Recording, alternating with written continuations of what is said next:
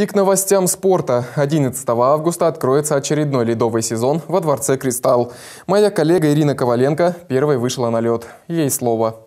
Считанные дни остаются до открытия нового сезона в «Кристалле». Здание обновилось, отремонтировали фасад, поменяли крышу и окна. В этом году в спорткомплексе установили терминал, смонтировали новое освещение. Поменяли просто на энергосберегающие лампы светодиодные. Получается, по освещению мы будем тратить электроэнергии раза в два-два с половиной меньше, чем обычно. Плановые ремонтные работы велись на протяжении трех месяцев. Это мера ежегодная. Мероприятия по профилактике позволят провести зимний сезон без сбоев. Сейчас заливают лед. Под ним красуется свежая разметка. К приему спортсменов все готово. Междуреченцы начнут тренироваться 10 августа. Соревновательный сезон откроют в сентябре. У нас будут участвовать четыре команды. Юниорская хоккейная лига 2004 и турнирами 2006 и 2007 год.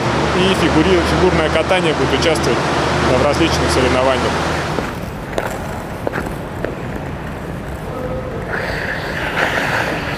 Совсем скоро покататься на коньках смогут и все желающие горожане.